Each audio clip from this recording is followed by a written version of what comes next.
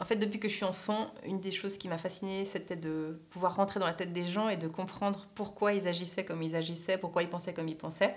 Donc j'avais une espèce de, quête comme ça de, compréhension et de sens, et, en même temps d'absolu, de, de, Dieu.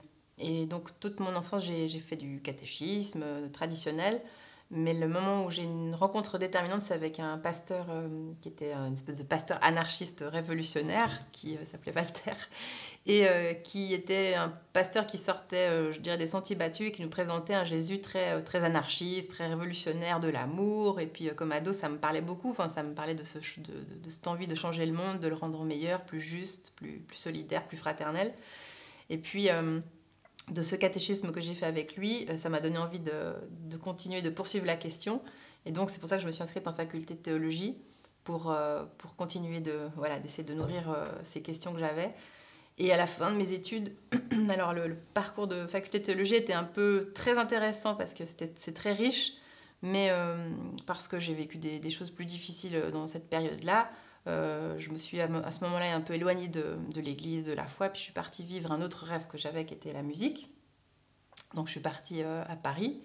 Et puis là, je me suis complètement immergée là-dedans jusqu'à un jour où, euh, j'ai assisté à un mariage catholique. Et puis le prêtre était, juste génial. Et quand j'ai vu ça, je me suis dit, mais, mais merde, c'est ça que je voudrais faire en fait. Il y a quelque chose qui m'appelle. Enfin, ça revient quand même tout le temps. Et du coup, j'ai commencé à me demander ah, est-ce que je reviens en Suisse, euh, etc. Et puis finalement, euh, euh, j'ai décidé de rentrer en stage parce qu'un un collègue, un pasteur, m'a dit mais tu devrais faire ton stage de, pour être pasteur.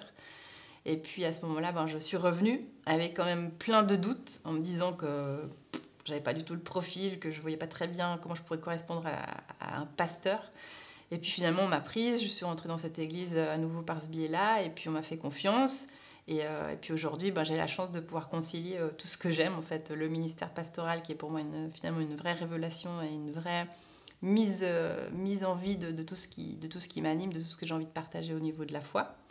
Et puis en même temps de, tous les projets dans le monde plutôt artistique, audiovisuel que j'ai l'occasion de faire avec mon mari.